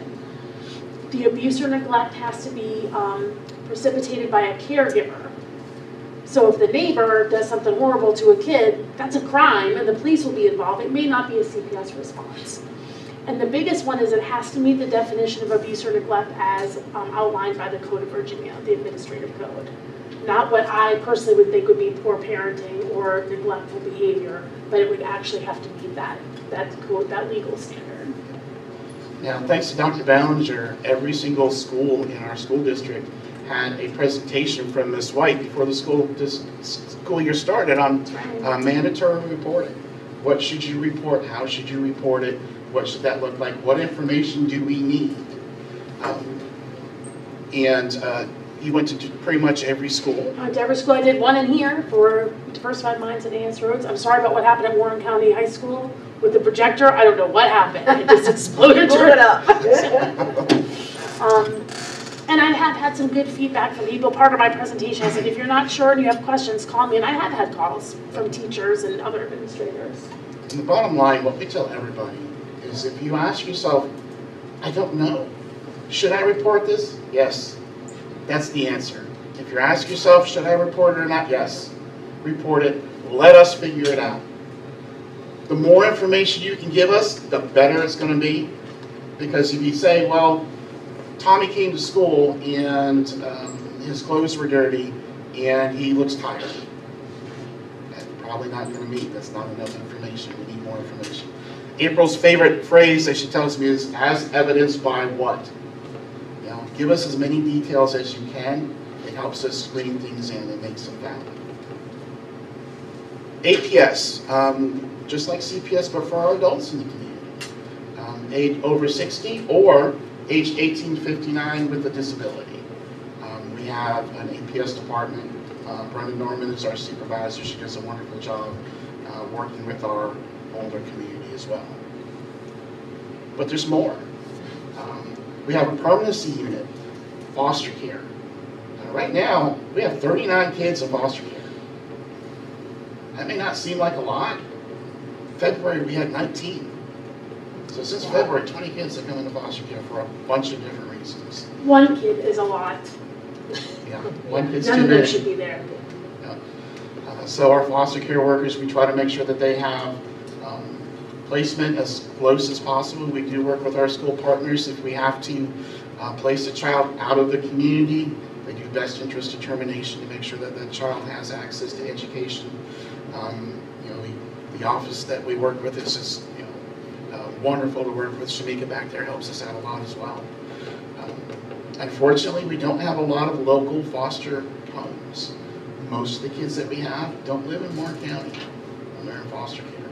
We are actively recruiting foster parents. If you know anybody who's interested in becoming a foster parent, please reach out to our office. Kids need to stay in their locality.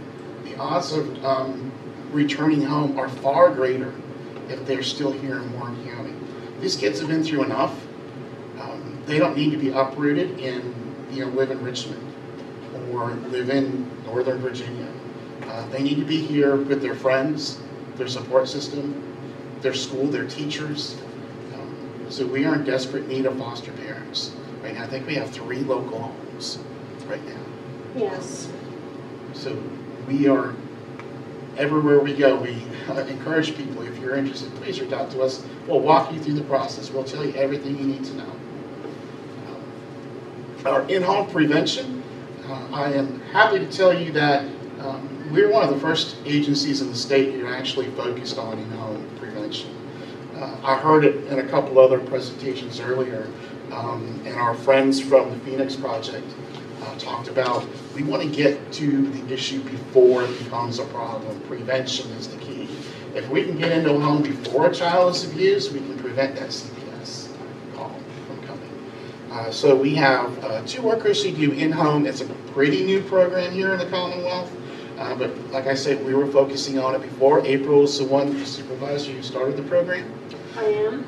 Uh, And it- it's a completely voluntary program. Uh, One of the things that we do here is if we get a CPS call and it doesn't meet validity criteria, but I'm still concerned, it's still an issue, we send them a letter saying, hey, we got a call. Is there something going on? Can we come out and talk to you? Can we provide services to you? Um, Can we help hook you up with uh, different community services out there? And we're getting a response rate of what? It doesn't, I'm no math genius, but I was hoping to get twenty percent, two out of every ten people. But the last time I checked, the numbers were getting about forty percent. And so people are recognizing that, hey, we're not the bad guy, we're out to help you, we're trying to hook you up with resources. So we have in-home workers who can go out and just say, talk to me, tell me what's going on, what are your needs, how can we connect you with other community services? So how do you make a CPS or an EPS call? Call our office, nine to five, um, extension thirty-three thirty-three, that'll, you'll talk to our intake worker, her name, her name is Molly. Um, After hours, you can call the Virginia State Hotline. I highly recommend you only do that if you have about five hours to kill, because you'll be on hold for a long time. There's hundred and twenty hotline workers for the entire Commonwealth. So if it's two in the morning and you want to make a report, go ahead, but you're going to be up for a while. Um, you can call the sheriff's office or the Front Royal Police Department. They'll connect you with us. Or April's favorite toy now is the mandated reporter portal. Anytime, day or night, mandated reporters, which all school employees are, um, you can go to this website here, acps.dss.virginia.gov, input your information electronically, it automatically populates to our inbox, and we get that referral immediately as soon as you hit send. You don't have to wait on the phone, you don't have to call anybody, you don't have to talk to anybody. You put that information in, it comes right to us, then there's an electronic record that you made the referral. Or you can just stop one of us on the street and say, I'll say, call Christie. So- But that's not all we do either. We actually uh, are the only Department of Social Services in the northern region that has a community liaison department. Uh, You may know Michelle Smeltzer, Most people do. Um, She is our community liaison, she has two people in her office with her, and they provide resources to people who may not qualify for TANF, may not qualify for SNAP, but you still need some help. Uh, That's where Michelle steps in. She works with the, um, uh, the clergy in our community uh, for, and they have funds that she coordinates. Um, She also provides referral services out. I tell our staff all the time, uh, nobody should ever come to social services and leave empty-handed. I may not have a program that can help you. I may not have a way to solve all your problems, but you know what I can do? I can give you a box of food. I can give you a referral to a community agency that may be able to help you. Or the very least I can do is I can spend two hours talking with you and seeing what are some different ways we can help. Um, One of my favorite things to say is the only people who look forward to going to social services are the ones who work there. Everybody else, it's not one of their best days. And so we need to be there with support and giving you, make sure you leave with something. Michelle and her office, they coordinate with clients, colleagues, and agencies to improve program outreach. They oversee our food bank. We have our very own food bank in social services. It's limited, um, but we do have shelf-stable food that we give away. We're doing a food drive right now, so if you ever want to make a donation, there's a box right in front of our office. Please feel free to drop some stuff off, get the word out, because there's a big need in our community uh, for people who are homeless or people who don't have enough to eat. Um, You see it every day with your students here in school, I'm sure. Kids come to school hungry uh, all the time. Um, We help with that. Um, We also have the only job developer in the northern region uh, in Virginia, uh, in our employ. And by job developer, her only job is to work with people who are unemployed or underemployed or just want a better job. You don't have to be a client, you don't have to be a TANF recipient, you don't have to have anything to do with anything. You can walk in off the street and say, I need a job. She'll sit down with you, she'll help you write a resume, she'll give you some job leads, she'll get on the computer with you and help you um, apply for a job. Um, We even have a limited clothes closet that if you need clothes for an interview, um, we'll make sure you have clothes to go on an interview. Um, No other agency, no other DSS has that. Uh, And we're that here, so it's kudos to Warren County because they're the ones who saw this need. Um, So spread the word on that too. If you know somebody who needs a job or wants a better job, that's part of what social services is. You know, people helping people triumph over poverty. That's what we do, that's who we are, that's what we believe. And we have lots of different programs that, lots of different programs help you get there. Amy was just reminding me that we're hosting a job fair in association with the Salvation Army. uh, and it- And Goodwill. And Goodwill. Uh, And it is coming up next month, right? Yeah, it'll be at the community center. I It'll was trying to the send you that community center. Here in Front Royal, we hold two job fairs a year. We have about 30 to 35 employers show up. Um, Many of them hire on the spot. Uh, We've had lots of people who showed up, gave their resume, got it, walked out with a job. Um, So local employers uh, do uh, come to that job fair, so if anybody is looking. Um, Your seniors, uh, your kids, your 16 and up who want a job, Um, Megan will work with them too. Uh, They can come to the job fair as well. Kids need jobs too nowadays. And our job developer will work with them if they're interested. I would love to possibly talk with you all sometime about, can she do some presentations in schools? Can she let the kids know that these services are out there? Um, We want to be a a partner to you at the school. If all else fails, we have an app. I don't know if you've ever heard of the Warren County Resources app, but we have an app that you can download.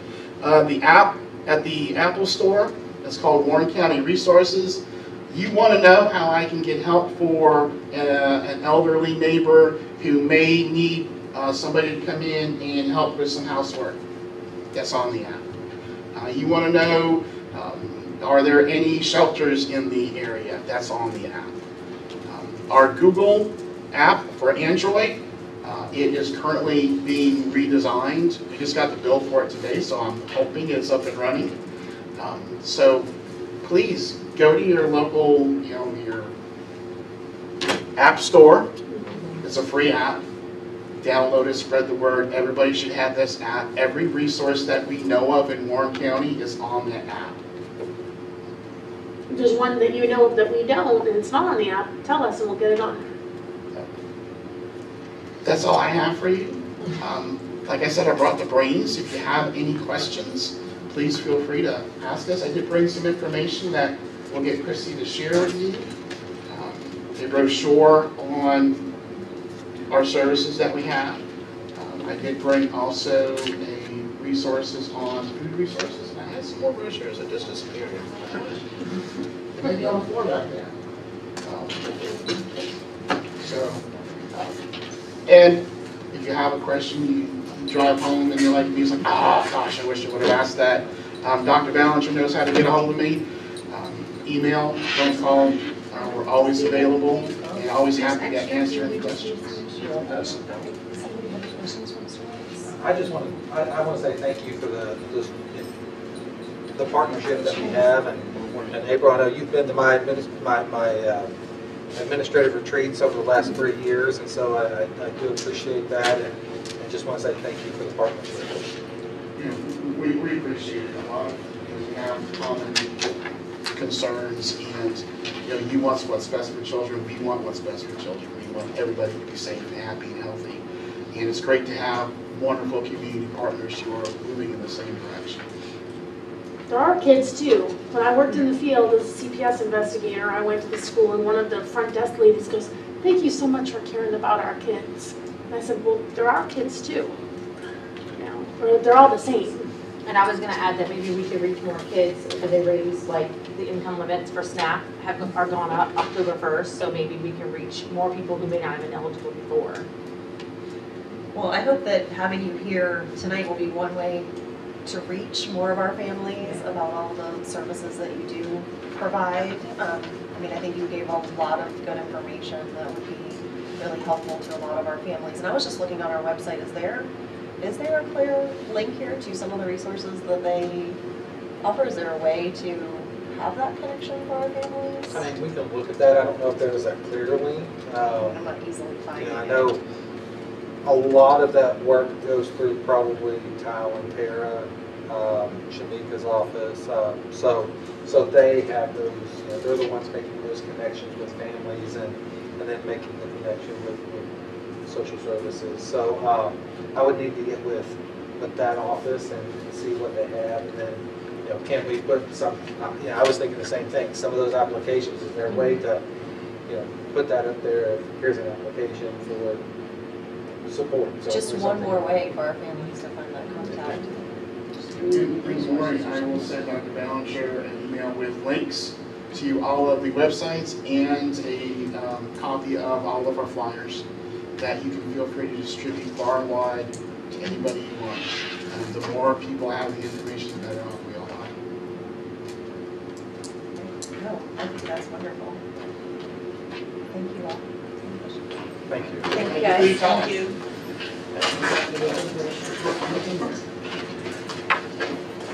Do you want us to move these extra chairs? Yeah, that's. Next up, we have an instruction update, and that's from Ms. Bragg.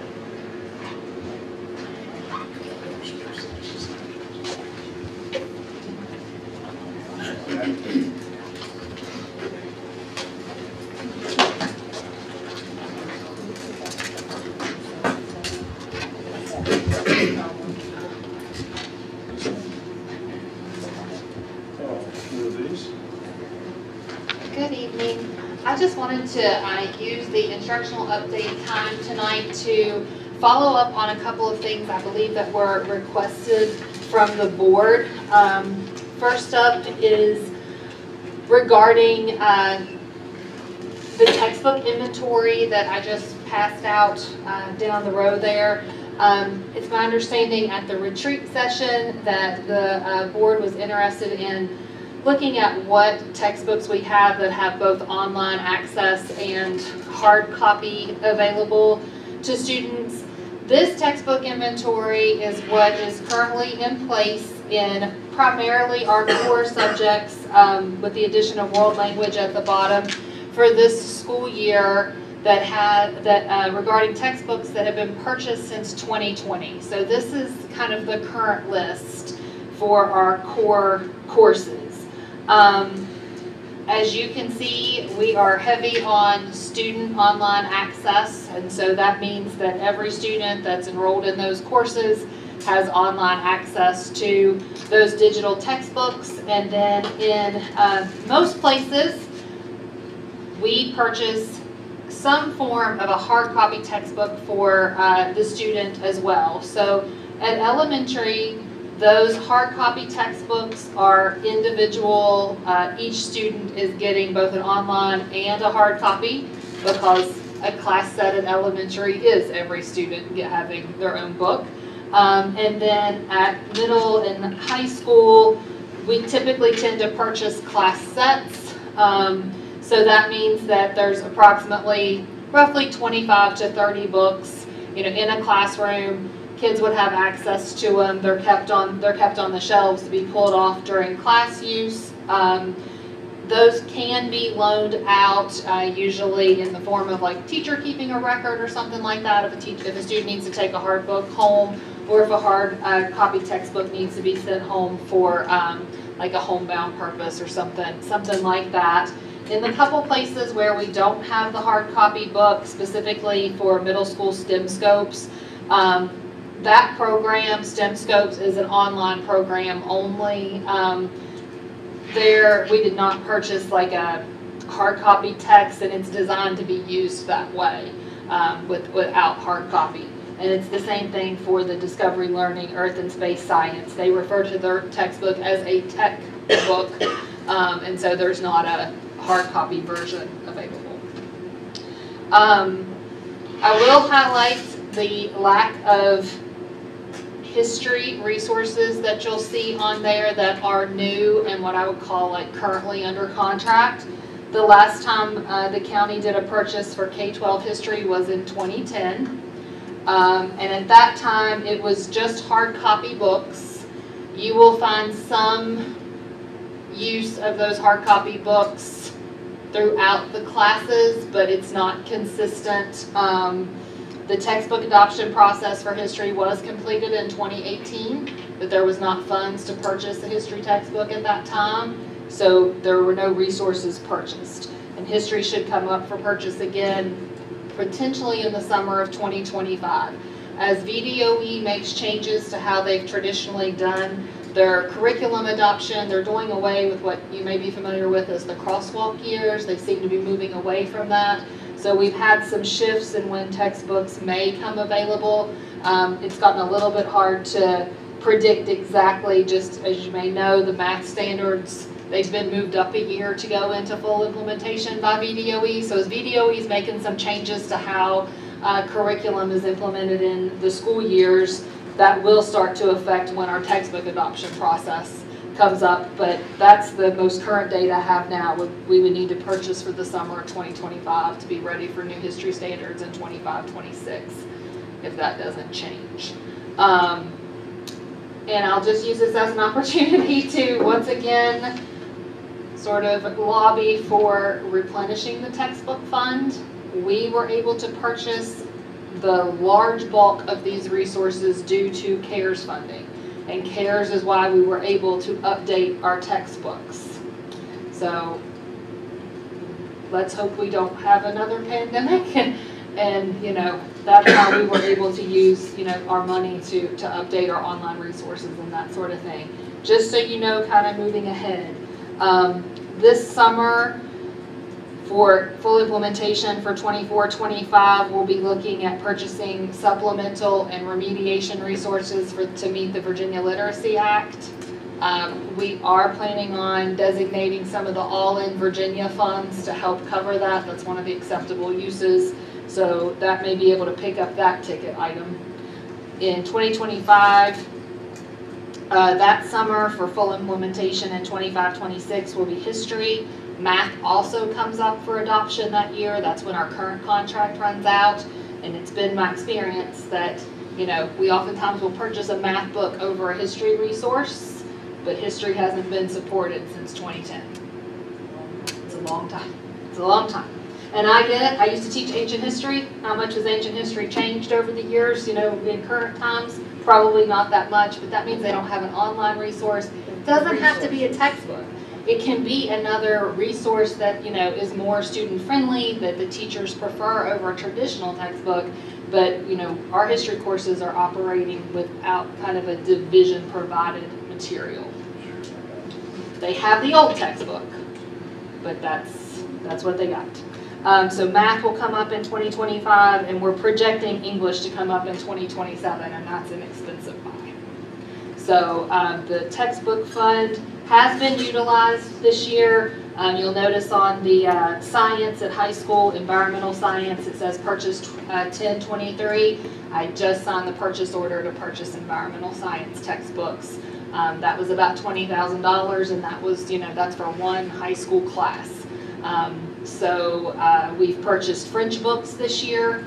That was about $10,000 to uh, give support to our French class. Um, so, you know, the textbook fund at this time probably has about $30,000 in it once those science books come out. And $30,000 on a K-12 purchase won't get you very far. so again, just using this as an opportunity to let you know what's coming up. If you, are interested, um, we can certainly provide something more comprehensive with our older books.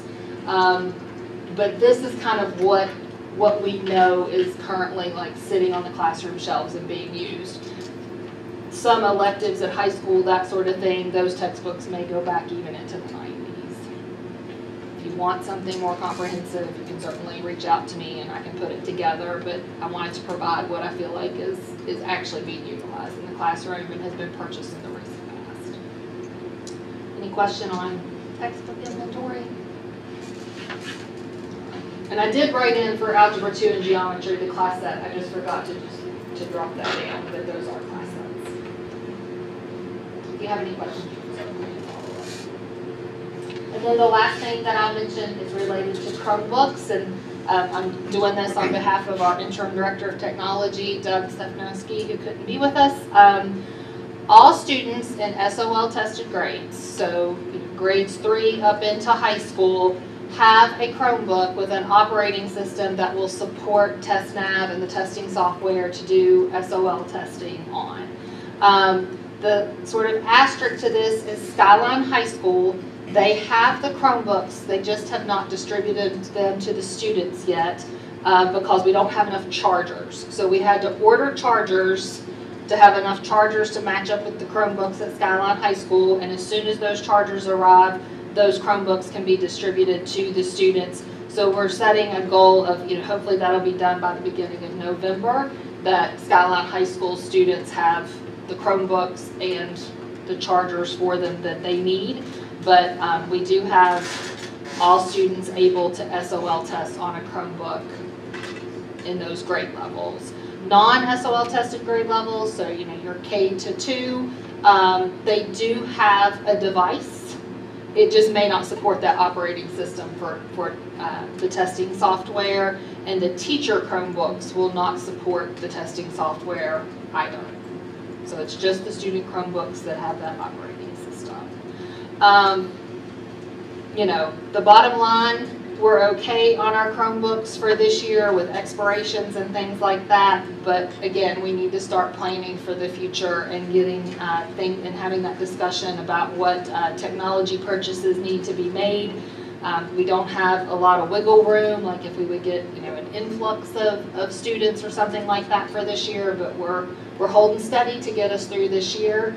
But that planning for future technology purpo- per, uh, purchases and the money to support that needs, does need to be had when, and Doug, and I think the tech teams are working on some projections. Do you know that when they're um, assigned a Chromebook, like in third grade, and you might not know the answer, but are, do- are, is- does that follow them? Do they keep it like all third, fourth, and fifth? Do they turn it in at the end of every year, and then they're, I think right now that's primarily the way it's done, is that they turn them in at the end of the year and then they're reissued the following year. Um, actually Doug mentioned that to me when I talked to him earlier today, you know, and he said it wouldn't bother him if you issued it at third grade and you carried it the whole way through, basically. Um, but there's just some different ways to do it, and I'm sure some of that has to do with just making sure that it's checked in and not lost over the summer. So then it just kind of becomes the school's responsibility to get those ready to go for the next school year. So they essentially would get a new, a a Chromebook issued at the beginning of every school year? Yes. For three, grade three through twelve? Yes, yes, and like I say, K two do, do have devices, uh, pre-K and K have tablets. One and two have devices, um, they just don't support that testing software. We have to sign the form, whatever they issue every year. that says I we're don't- For some reason, I was responsible thinking like for my oldest son, that he got one in- as a freshman and like he kept it Yep. through his senior year. And I think some school Like he didn't get it, like he didn't turn it in every year. Yeah. I mean, every summer. I don't, I couldn't understand. I think, I think you can issue them that way, it's, I mean, it can certainly be done that way. You give them a new one, it's, I mean, it's you third can grade, I and they thinking that's what I was carry it as thinking. long as, you know, as long as it's still working. Um, but right now, they're checking them in and checking them out each summer. Any other questions.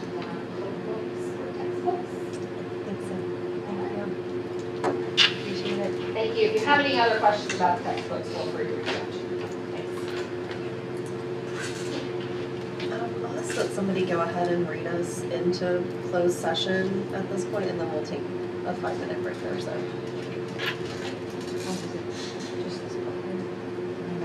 Yeah, she's, I know she's working with it. So just Yeah. according to that, just have a. According uh, to the votes, no, no, wrong one, sorry. Uh, So this, that that part, right? Yes. Um, This motion is made that this open public meeting of Warren County School Board become a closed meeting pursuant to Virginia Code, Section 2.2-3711. The school board desires to discuss the following matters in a closed meeting. Section 2.2-3711A1, discussion, consideration, or interviews of prospective candidates for employment, assignment, appointment, promotion, performance, demotion, salaries, disciplining, or resignation of employees of the school board, specifically the review of the October 18, 2023 personnel report and addendum and an employee personnel issue and section 2.23711A8. Consultation with legal counsel employed or retained by a public body regarding specific legal matters requiring provision of legal advice by such counsel, specifically advice regarding two legal issues. Nothing in this subdivision shall be construed to permit the closure of a meeting merely because an attorney representing the public body is in attendance or is consulted on a matter. Is there a second? A second. Mr. Valentine, could you do a roll call, please? Mrs. Lo? Aye. Dr. Funk? Aye. Dr. Pence? Aye. Mr. Rinaldi? Aye. Mrs. Salins? Thank you so much.